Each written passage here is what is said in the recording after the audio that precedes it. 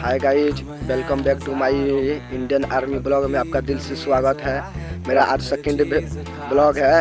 मैं इस सब आपको गाछी के बारे में बताना चाहता हूँ। ये जो सामने वाला गाछी है ये हमारा अंकल का है ठीक है?